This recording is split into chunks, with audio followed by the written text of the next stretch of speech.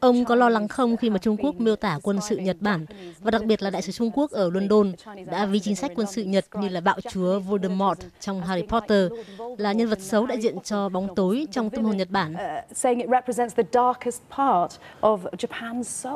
Well, I don't want to get into this you know, propaganda.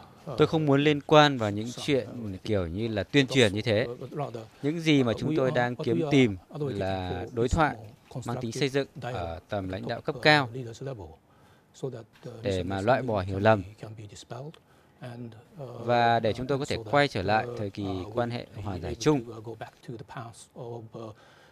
Đó là lý do mà chúng tôi muốn thúc đẩy đối thoại với Trung Quốc mà cho tới giờ thì vẫn bị phía họ từ chối.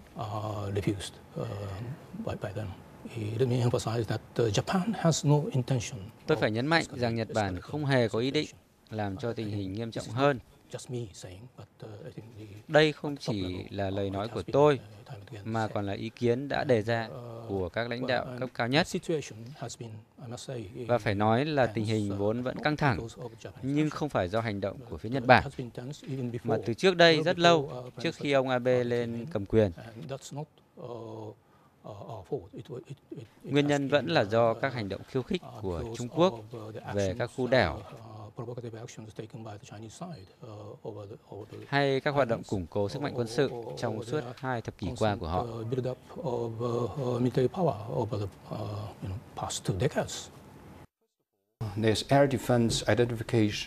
Điều đầu tiên là vùng nhận dạng phòng không chỉ là thủ tục bình thường đối với một vài quốc gia.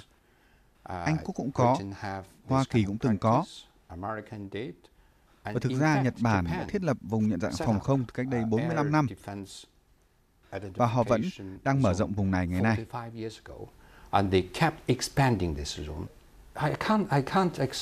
Tôi không thể chấp nhận cách các vị định nghĩa đây là hành động gây hấn. Thực ra, vùng này chỉ hoàn toàn nhằm mục đích phòng vệ. Thứ nhất, đây không phải là vùng cấm bay. Hàng không của mọi quốc gia đều có thể ra vào khu vực này. Họ chỉ cần thông báo mà thôi. Hơn nữa, tôi phải nói từ khi Trung Quốc thiết lập ra vùng này, nó khá là yên bình đấy chứ.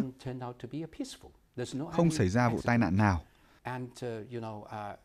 Và nó cũng không xa rời cách thực hành thông thường nào cả.